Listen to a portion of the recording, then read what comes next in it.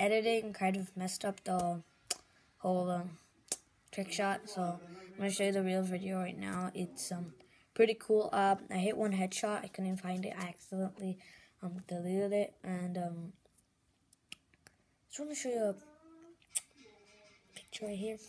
Just don't snitch.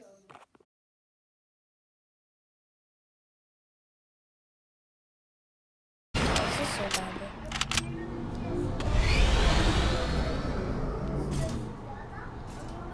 Boost works when I do this. Okay, don't boost. See what